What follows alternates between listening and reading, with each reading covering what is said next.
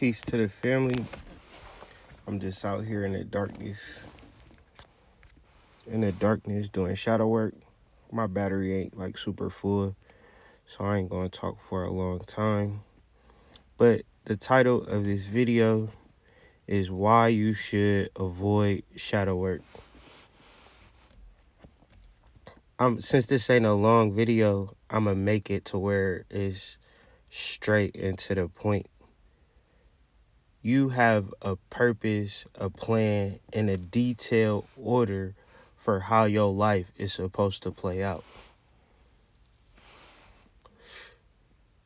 From your grandma to your grandfather to your mom, your from your grandma, from your mom, from your grandfather, from your dad, from your brothers, from your sister, from your teacher, your principal, your superintendent, the governor, the mayor, the president, everybody is conspiring for you to fuck up your initial spiritual blueprint.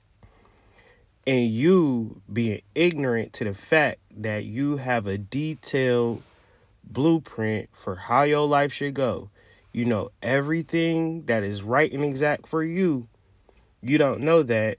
You start asking your grandma. You start asking your grandfather. You start asking your mom. You start asking your dad. And these motherfuckers don't study your blueprint. They start telling you, yeah, you should be a ballerina, girl. You should be a football player, son. Be like me. Be electrician. Be a contractor. All this stupid shit, right? Now, deep down inside, you know everything there is that you should do. And maybe it's not built yet, but every day you are in the process of building that. Now, shadow work, why you should avoid shadow work is if you don't want to live your life in reference to the blueprint or the schematic that was laid out specifically for you. You should avoid shadow work if you're in a relationship that you're not really supposed to be in, but you're a nice guy, you're a nice girl, you're a good guy, you're a good girl. But that relationship ain't the relationship you should be in. You should avoid shadow work if you're in a dead end ass job and you know for a fact that you getting paid an hourly wage and you got way too much talent, skills, abilities to be getting paid this low low wage. So instead of doing shit about it, you should just avoid shadow work, right? Cuz shadow work is going to make sure that you put your superintendent, your boss, your goddamn bus driver, that's bringing you to the job, hey man, I'm way bigger than this shit. Like you when you when you are in tune with your blueprint, everything outside of your blueprint will not cut it. See, but the reality is that motherfuckers tune in to things outside of their blueprint every fucking day. And you know what you got to do to cope with the fact that you're not tuning in to the design that you have for yourself and your life and your prosperity and your happiness? You about to fucking get high as a motherfucking kite out here in these streets. You gonna be having sex. You gonna be getting drunk. You gonna be watching TV. You gonna be, you know what you gonna do, family? you gonna be spiritual around these spiritual motherfuckers. Right? Ain't nothing worse than a spiritual motherfucker telling you, you know what? Let me tune in and tap in to let me tell you what your blueprint is. Right? Cause you got a reading from me or some hot shit like that. Now I could tell you your blueprint. And now you know what motherfuckers that talk to you, they'd be like, Well, I got a reading from such and such. They told me that, you know, this, that, and the third. So third, that, and the this. And I'd be like, shit. How do you feel about that? well, I'm just trying to have other people tell me my blueprint hood. So, you know, shoot me a blueprint that I should be doing with my life.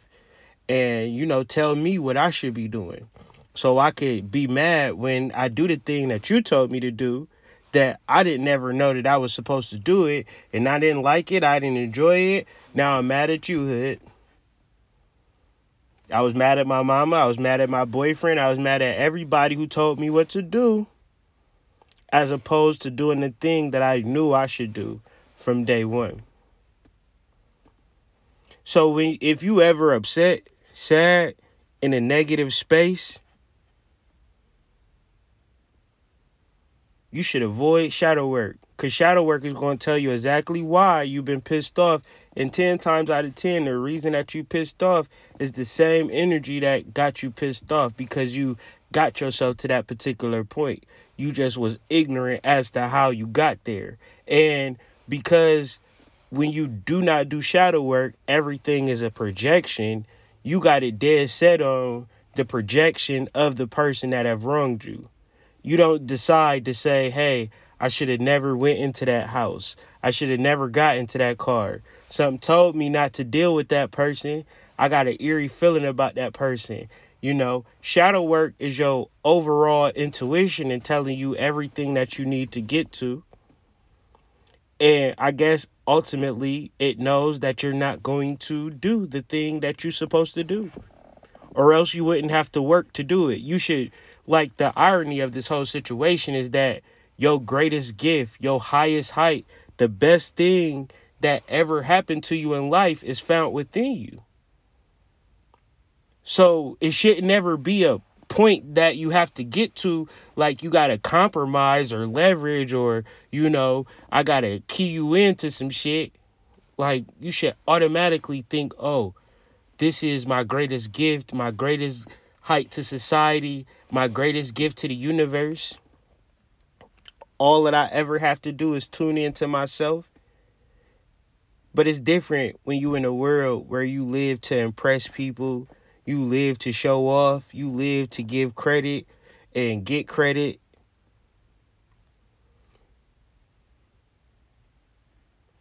I think where a lot of people get their blocks and they reach their blocks with their business, they reach their blocks with their lives and their pursuits is because it, it gets to a point of shadow work or it gets to a point of anything where you start to think about other people specifically. Like if you ever was profitable, if you ever had a job and you had money from that job, you could have took that money and forayed that into an educational system that will lead you into helping other people, which will build you up the reputation and cachet for productive businesses in the future. 10 times out of 10 shit go good for you and you just reinvest in yourself, think about yourself, never think about the community, never think about doing things pro bono, never doing things philanthropy. I just made that up. It felt good, sounded good. All of this spiritual shit is well and good, but people take it for themselves. They sit in their houses with all of the spiritual ashe, and they never go outside of their houses and think to help people or think that this spiritual shit is not specifically for you to benefit yourself. Even if you have that energy, you would just get wiped away and washed away, and things won't work out for you. Because you didn't build a community. You don't have no real thought process to a substantial long term process to anything that you're thinking about. Your blueprint, in order for it to be successful, is because it helps many other people when it's actually completed. You actually thought your blueprint was a mansion so you could just live in it and be luxurious and stun on people and let people know, hey, I have more than you. But in reference to the aquarium waters, or just the life-giving waters of the ocean or the life-giving waters of the rivers the river don't exist for the river's sake the river exists for the people's sake and the animals' sake and the fish sake. People like the fish call the river their home. So you have this whole body of energy that don't exist specifically for its selfish needs. It specifically exists for organisms to live and thrive and to enjoy and to have pleasure. When you tune in and tap into your spiritual sovereignty, you are just like that same river. You are just like that same ocean. But there's so many broken, hurt people who do not do psychologically advanced advanced things in reference to spirituality. Most people that tune into spirituality are broken and hurt. That's why when you start talking about spirituality, it sound good at first. The deeper that you deal with it, the more that you say, "Oh shit." This is just like regular humanity. It's just that niggas is read different types of books. Niggas have a different type of linguistics, a different conversation. But we could have did the same exact conversation in the church. Motherfuckers replace manifest with prayer, right? Motherfuckers replace God and Jesus with Orishas. So religious being bound to society Religion means to bind. Like everything in reference to society, colonialism, government is rooted in the Catholic Church. They say that church and state is separated, but when you get down to the minutia of it, the state and the church is one thing because I've said this before, but I'll say it again. When people die, yo, property remains. And 10 times out of 10, the government, i.e., the, well, before it was the government, it was the state that held all of the land from like the generations of people that died. Because people will go to church their whole lives, die, and then they'll have just like their land and whatever the case may be. The church will have it, right? So over time, the institution called the church just basically owned the whole of Europe. So when you th- think about the kings and the queens and all of that, they was put in place specifically by the church. So even when you are getting a good job or making money or driving a car or doing something scientific, you're doing something religious. Please let me explain.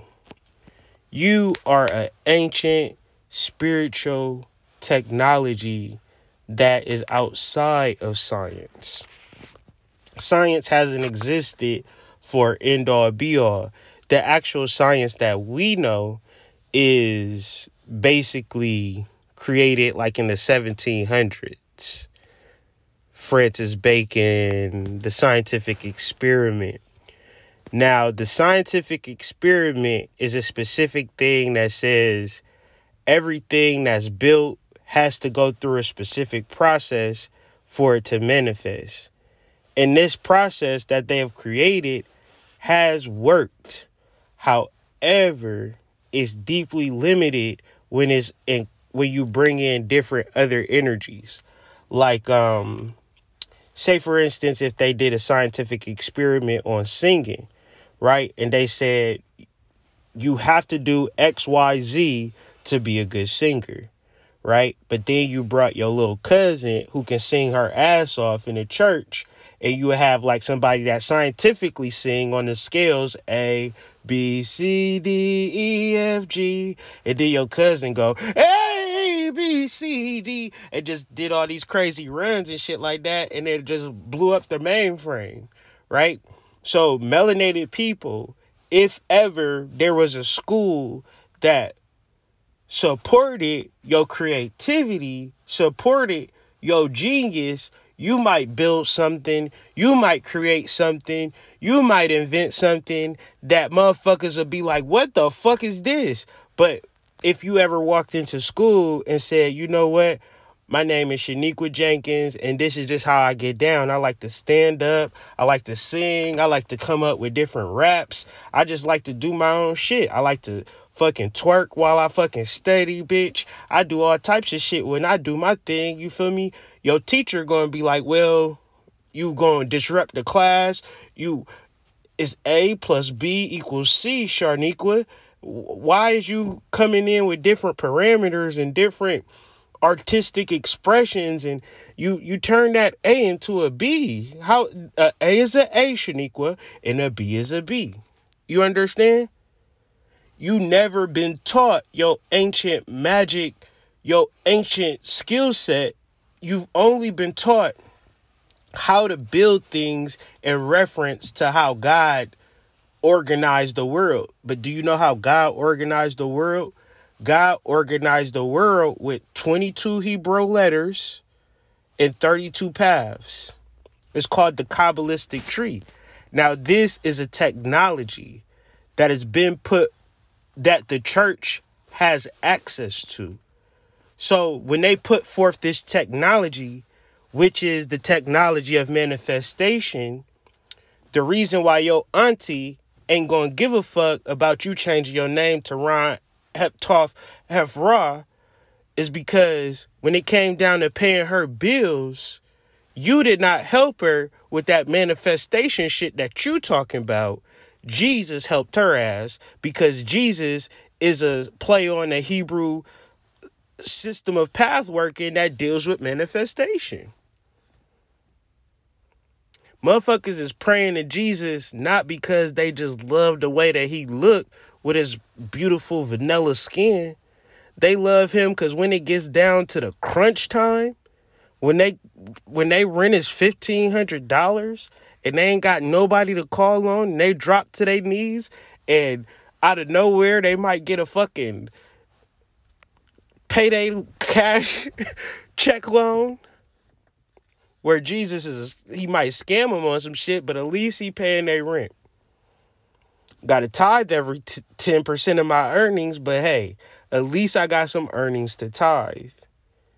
Now, if you caught up in a process of materialism, i.e., government, i.e., Western education, Western thought, then all you can think about is manifesting.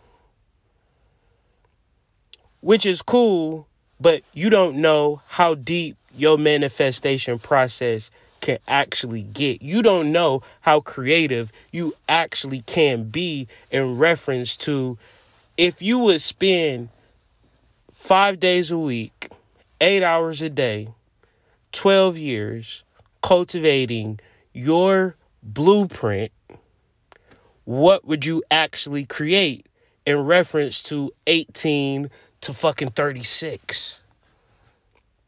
Now imagine you going to a fucking institution for 12 years, 5 days a week, 8 hours a 8 hours a day and they're saying, "Hey little Timmy, fuck your blueprint, follow our blueprint. And if you ever fucking think to do your own blueprint, we're gonna give you a fucking F. We're gonna kick your ass out on the streets. We're gonna make you feel like shit for having your own thoughts in your own mind.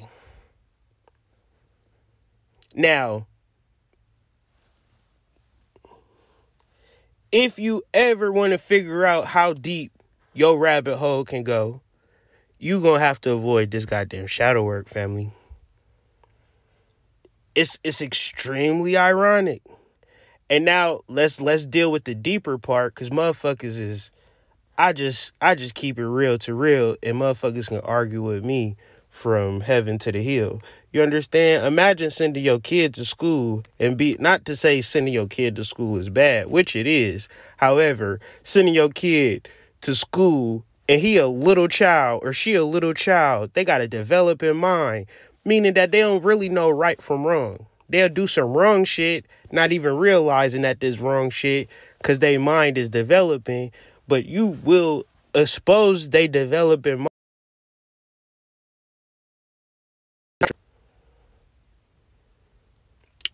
it is and in reality we all got to do what we got to do and that's just the reality of life. But at the same time i ain't gonna be mad at my kids if they piss the teacher off. I'm gonna be like what your ass want for dinner? Do you want some toys? Like i'm gonna treat them like a regular person. Don't give your kids no energy when they ain't doing perfect at school. I mean, be pissed at your kids when they getting straight A's and shit. Cause you really be like, man, you gotta get more revolutionary than that. I need you to get at least a C in gym, fam. Like, you know what I'm saying? You gotta kind of give them an edge, give them a curve. Like you can't imagine that this system that fucked your head up is going to be good for your kids and right for your kids. However, if you don't want to be adjusting your parenting style, you need to avoid this damn shadow work. You feel me? Because it's a particular section. You know, I've been putting out this shadow work, then put out like hundreds of journals and shit like that. You know what motherfuckers never talk about? about the goddamn journal? Motherfuckers never talk about that damn mommy wound. I tell you, I, I've never. I mean, niggas act like that little section in the book don't exist, right? Um, your mama not perfect, you not a perfect mom. If you ain't uh, willing to accept that shit, oh, you need to avoid this damn shadow work. Oh, shadow work is the devil because now you gotta really stand on your mommy game. Now you gotta really stand on your daddy game. Now you gotta say, Dad, it didn't even matter if you wasn't perfect. You wasn't ever supposed to ever gonna be perfect no matter who you was gonna be. All of this negative energy I held towards you, unrequited. I have to respect you as a human being doing your own shadow work. You gotta get to your blueprint, Dad. I release my attention towards you. Mama, guess what? You ain't perfect. I be putting you on pedestals and shit. Actually, you be fucking up. Actually, you be on bullshit. I love you though. I'm just doing shadow work.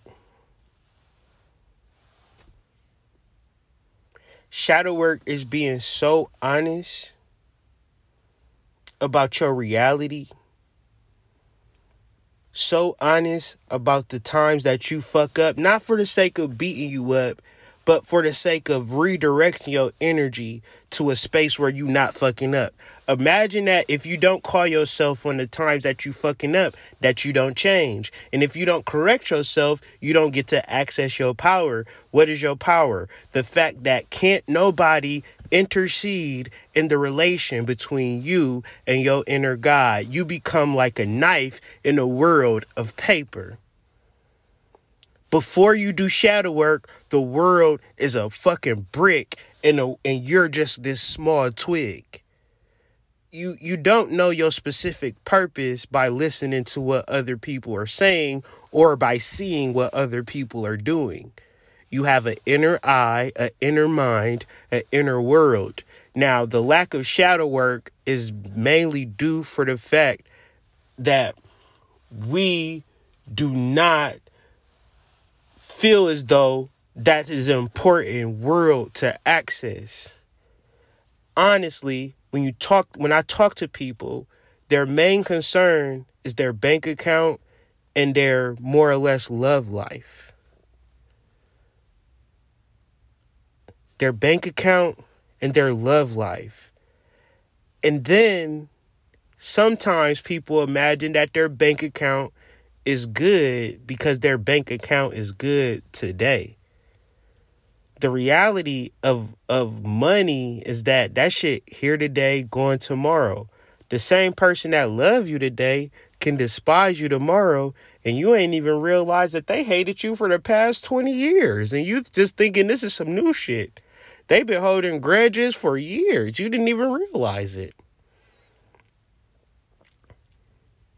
So what you holding on to, such as money and love and relationships and status and showing these fucking ussies and selfies and trips to the Bahamas, it don't really mean shit.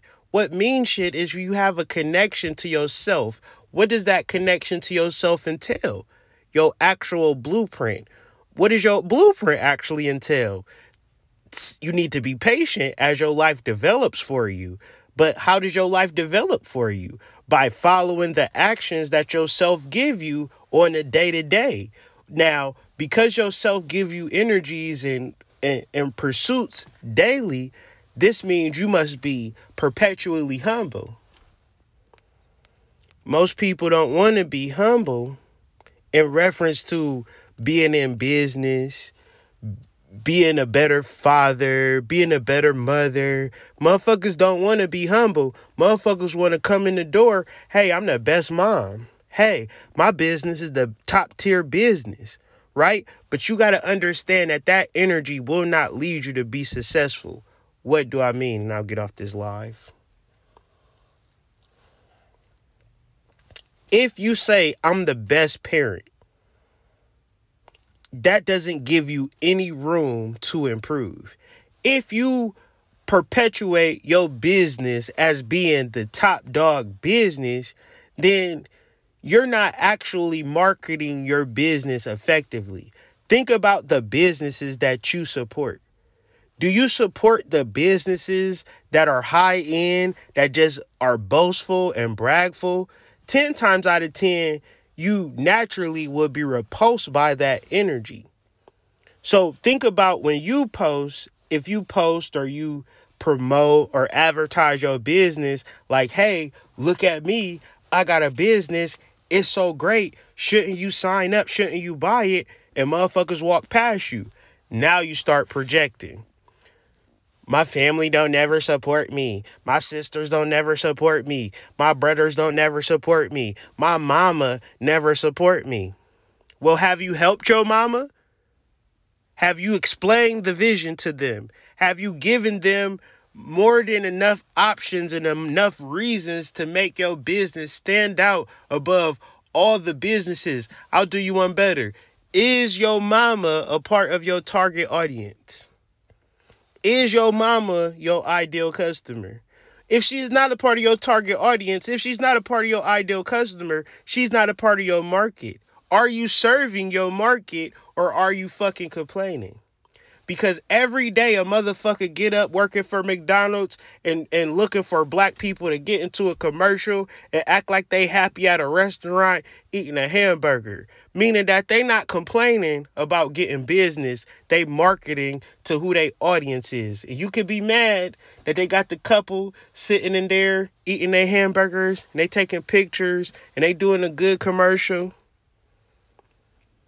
But McDonald's ain't taking a billion fucking trillion dollars for granted, but your ass ain't got a hundred dollars on your business account, probably don't even got a business account, worried about where your customers is coming from. If you don't get out there and get their ass, they not going to just show up to your business because you post some shit on IG.